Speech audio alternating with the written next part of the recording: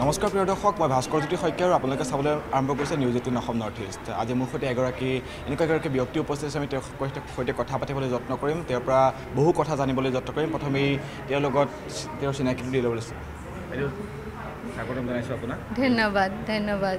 এতিয়া যিহেতু আপুনি আগৰ যি বুলবুল কেঞ্চিং বা আন আন যিসমূহ আপোনাৰ চিনেমা আছিল ছবি আছিল সেইসমূহ ছবি যথেষ্ট ৰাইজৰ যি আগ্ৰহ পাবলৈ সক্ষম আছিল ৰাইজৰ যি আপোনালোকে উৎসাহ পাইছিল।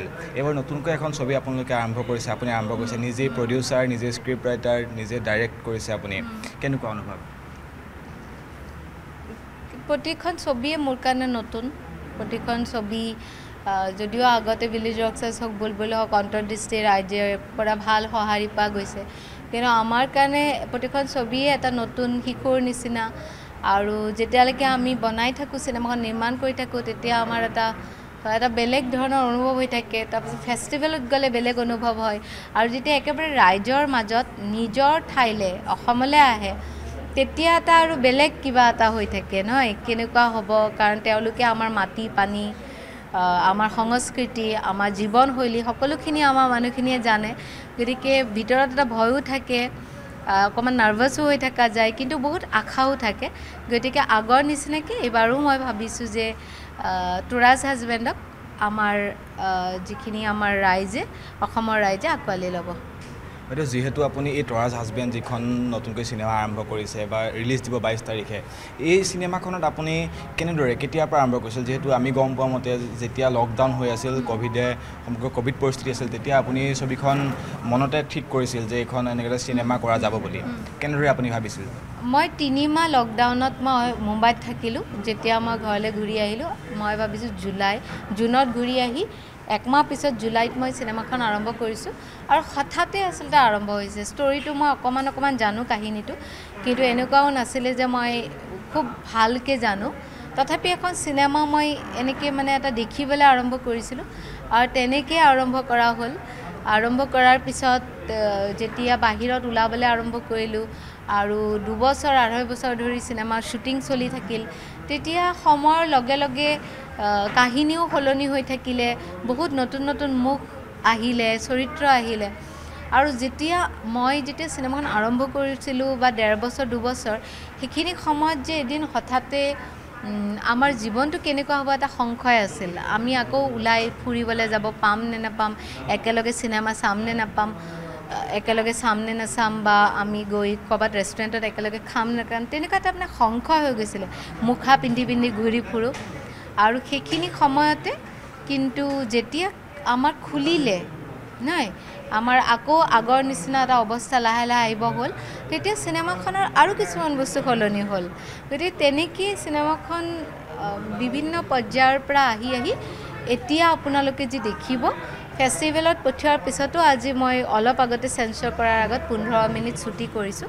গতিকে আপোনালোকে আহি আহি এটা বেলেগ পৰ্যায়ত এতিয়া নতুনকৈ আৰু এখন মোৰ কাৰণে আৰু ইখন এতিয়া যিটো হৈছে এইকেইদিনৰ যিটো এটা পৰিৱৰ্তন সেইটোক লৈ মোৰ কাৰণেও এখন নতুন চিনেমা। যেনেকৈ মই ক'লোঁ বিশ্বুত শইকীয়াৰ গান নতুনকৈ তেনেকৈ তেনেকৈ আৰু নোৱাৰি বুলি কোনে ক'লে সেইটো লগোৱা হৈছে। আগৰ পৰাই নীল আকাশ আৰু এইটো আচুৰ্য বৰপাত্ৰৰ গান আছে। গতিকে আমি আশাবাদী হয়তো আৰু এটা প্ৰশ্ন আপোনালৈ যিহেতু আপোনাৰ যিসমূহ চিনেমা আছিল বুলবুল কেঞ্চিঙেই হওক বা ভিলেজ ৰষ্টাৰে হওক তাত আপুনি দেখা দেখিবলৈ গৈছে যে নতুন মুখ চিনাকি মুখ তেনেকুৱাকৈ নাই। সকলোবিলাক নতুন মুখ বা অচিনাকি মুখ আপুনি সেই চিনেমাবিলাকত লৈছে বা তেওঁলোকৰ দ্বাৰা চৰিত্ৰসমূহ কৰাইছে। আপোনাৰ কেনেদৰে আপুনি এইটো ভাবে যে নতুন মুখ হ'লে মানুহে ৰাইজে আদৰি নল'ব বা যদি পুৰণি মুখ হয় বা চিনাকি মুখ হয় ৰাইজে বেছি সবলভাৱে আদৰি লয়? কি বুলি ভাবে? সেইটো মানে মই সদায় কওঁ যে মই চিনেমাৰ প্ৰেমত পৰি চিনেমা বনাবলৈ আৰম্ভ কৰিছোঁ। গতিকে মই যেতিয়া আৰম্ভ কৰিছোঁ তেতিয়া মই এইটোৱে চাওঁ যে মই কেনেকৈ মই ভাল লগাকৈ এখন চিনেমা বনাব পাৰোঁ যিটো দৰ্শকেও ভাল পাব। কেনেকুৱা এটা বেলেগ বেলেগ ধৰণে কাহিনী ক'ব পাৰোঁ। তাতকৈ মই বহুত বেছি নাভাবোঁ। এতিয়া বিশেষকৈ কালি অহা আগন্তুক টাইমত সময়ত হয়তো এনেকুৱাও কিছুমান পৰিৱৰ্তন হ'ব পাৰে। নহয় মই হয়তো কোনোবা এনেকুৱা যি যিবিলাক মানে আমাৰ আছে যিয়ে অলৰেডি এটা ভাল কাম কৰি আছে তেওঁলোকৰ লগতো হয়তো কাম কৰিব বিচাৰিম মই বা এনেকুৱা হ'ব। কিন্তু মই যেতিয়া চিনেমা মই বনাওঁ তেতিয়া মই ইমান বিশেষ চিন্তা নকৰোঁ। মোৰ কাৰণে প্ৰধান উদ্দেশ্যটো থাকে যে মই ক'ব লগা কাহিনীটো মই কিমান ভালকৈ ক'ব পাৰিছোঁ। আৰু এটা প্ৰশ্ন আপুনি যিখন এই তৰাজ হাজবেণ্ড চিনেমাখন আপুনি বৰ্তমান প্ৰযোজনা কৰিছে বা ডাইৰেক্ট কৰিছে যিটো এইখন এখন আপুনি বাণিজ্য বাণিজ্যিকভাৱে নিৰ্মাণ কৰাৰ কথা ভাবিছিল? প্ৰথমতে এনে এইখন আপোনাৰ যি মনৰ যি আৰ্টিষ্টিক মাইণ্ডৰ পৰা এইখন এনেদৰে ৰাইজৰ মাজলৈ আগবঢ়াই দিব বিচাৰিছে? বাণিজ্যিকভাৱেতো তেনেকৈ ভবা নাই কিন্তু মোৰ কাৰণে কি হয় যে মই ভাল লগা বা যেনেকৈ এটা চিন্তা কৰিছোঁ সেইটো ভিলেজ ৰকছাৰ্ছেও বাজি বাণিজ্যিক সফলতা পাইছিলে। গতিকে তেনেকুৱা মোৰ কাৰণে একো কথা নাই। মই কিন্তু এনেকৈ একদম কমাৰ্চিয়েল ভাৱে মই ভবা নাই। মই মাত্ৰ ভাবিছোঁ যে কাহিনীটো কাৰণ এতিয়া এই যিখিনি ক'ভিডৰ সময় আছিলে এটা সময়ত সেইখিনি সেই পৰিস্থিতিটো এই সময়খিনি ইতিহাস হৈ যাব। আমি এই ঠাইখিনিলৈ এই সময়খিনিলৈ আমি সকলোৱে ঘূৰি চাম। অঁ এনেকুৱা হৈছিলে এনেকুৱা নতুন প্ৰজন্মৰ জন্ম হ'ব আহিব। তেওঁলোকে হয়তো কিতাপৰ পাতত বা টিভিত দেখা পাব। আৰু সেইকাৰণে মই ৰূপান্তৰ যিটো চিনেমাখনৰ কৰা হৈছে তাক যিমান পাৰোঁ যাতে চালে মানুহখিনিয়ে যাতে তাৰ লগত কানেক্ট আৰু ৰিলেট কৰিব পাৰে সেইটোৱে চেষ্টা কৰা হৈছে। এইটো তৰাজ হাজবেণ্ড যিহেতু তৰাৰ গিৰিয়েকৰ বা তেওঁৰ পতিৰ কথা বিশেষকৈ উল্লেখ থাকিব নিশ্চয় চিনেমাখনত। কেনেকুৱা ধৰণৰ? কাহিনীটো যদি ৰাইজক থুলমূলকৈ যদি ক'ব পৰা যায় বা উৎসুকতা ৰাইজক ৰাইজে এটা উৎসুক হৈ থাকে কেনেকুৱা ধৰণৰ।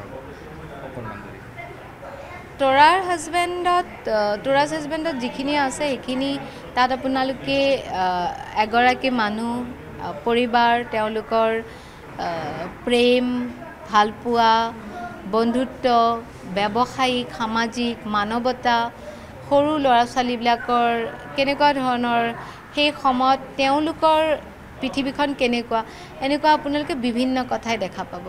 ঘৰুৱা পৰিৱেশৰ এটা ঘৰুৱা পৰিৱেশ আৰু বাহিৰৰ আপুনি যেতিয়া এনেকৈ ওলাই আহিছে নিজৰ কৰ্মত আপোনাৰ মায়ে হয়তো আপোনাৰ ভণ্টি ভণ্টি আছে যদি তেওঁলোকে আপুনি কি ধৰণে ঘূৰি ফুৰিছে তেওঁলোকে গমেই নাপায়। গতিকে তেনেকুৱা যদিও তৰাৰ এখন পৃথক পৃথিৱী হয় জানৰ এখন পৃথক পৃথিৱী হয়। কেনেকৈ সেই দুখন পৃথিৱী লগ লাগিছে বা শিশুসকলৰ তেওঁলোকৰ পৃথিৱীখন কেনেকৈ লগ লাগিছে গতিকে সকলোকে আপোনালোকে তেওঁলোকৰ পৃথিৱীখনত কেনেকুৱা ধৰণৰ ব্যস্ত আৰু তেওঁলোকৰ পৃথিৱীত কি প্ৰেম আছে সংঘাত আছে তেনেকৈ দেখা পাব। বাইদেউ শেষৰটো প্ৰশ্ন আপোনালৈ যিহেতু তৰাজ হাজবেণ্ড আপুনি কেতিয়ালৈ ৰিলিজ দিব আৰু অসমৰ কোন কোন যি চিনেমাগৃহ আছে ছবিগৃহ আছে সেই সময়ত দেখিবলৈ পাব। অসমৰ বাহিৰে বেলেগ কোনোবা ঠাইত আপুনি এইখন ৰিলিজ দিয়াৰ কথা ভাবিছে নেকি? এইখন অসমৰ বাহিৰত আমাৰ ভাৰতবৰ্ষৰ দিল্লী মুম্বাই চেন্নাই হায়দৰাবাদ বেংগলোৰ। চাগে কলিকতা পুনে এই দুখনতো হ'ব পাৰে। আৰু তাক বাদ দি আমাৰ আৰু খুব ভাল লগা কথা যে এইখন অষ্ট্ৰেলিয়াতো ৰিলিজ হ'ব। এইখন আঠাইছ তাৰিখৰ পৰা হ'ব ছেপ্টেম্বৰ আঠাইছ। হয় ঠিক আছে। ধন্যবাদ জ্ঞাপন। কৰিছোঁ। হয় এয়া আছিল তৰাজ হাজবেণ্ডৰ যিগৰাকী প্ৰযোজিকা আছিল পৰিচালক আছিল তেওঁ ৰীমা দাস বাইদেউ। আৰু ইমান সময় নিউজ এইটিন অসম অতি চাই থকাৰ বাবে ধন্যবাদ।